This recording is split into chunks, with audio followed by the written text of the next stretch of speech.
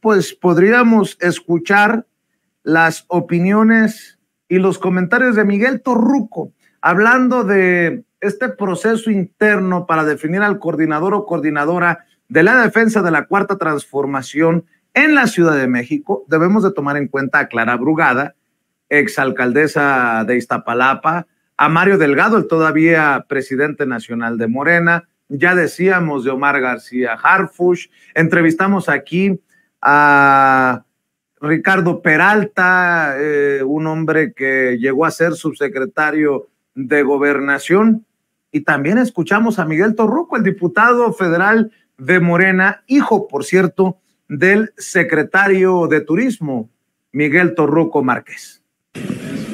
Nos encontramos con el diputado eh, Miguel Torruco. Bueno, eh, diputado, en principio, ¿qué le ha parecido este informe de gobierno de los primeros 100 días del, jefe de gobierno, Martín Batres? Pues bastante positivos. Hay que recordar que se le ha estado dando continuidad al proyecto de la doctora Claudia Sheinbaum Pardo, quien tuvo que pedir esta licencia, una renuncia prácticamente para ser ahora coordinadora nacional de, en defensa de la cuarta transformación y el maestro Martí Batres llega a ser jefe de gobierno. Entonces, estos son 100 días, 100 días contundentes donde ha consumado, donde ha hecho realidad esos proyectos que se iniciaron desde el 2018 y va a paso firme, va a paso eh, hacia adelante. Diputado, eh, estamos viendo que pues ya... Eh...